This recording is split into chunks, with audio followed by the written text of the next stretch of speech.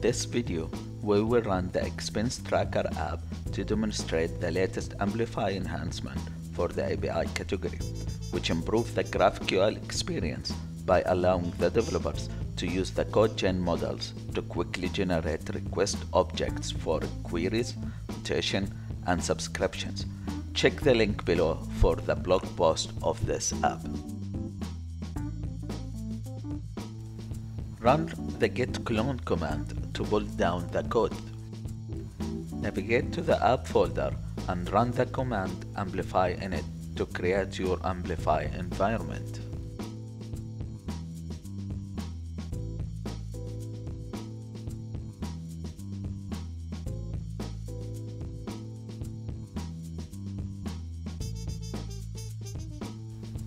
Command amplify status will display a list of resources for this app. It will include authentication and GraphQL API. Run the command amplify push to build those resources and provision them in the cloud.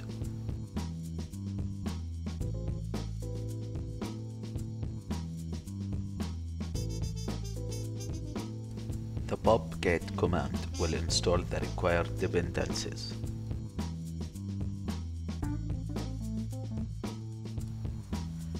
Open the app folder in VS Code. Note the Amplify folder, which includes the back-end configuration.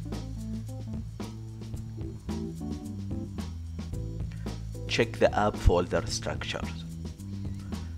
We have the models generated by Amplify CodeGen. We have the pages for the homepage file. We have the services where we have the API service file. And then we have a group of widgets. The main.dart is the main entry for the app. Let's use the iPhone simulator to run the app.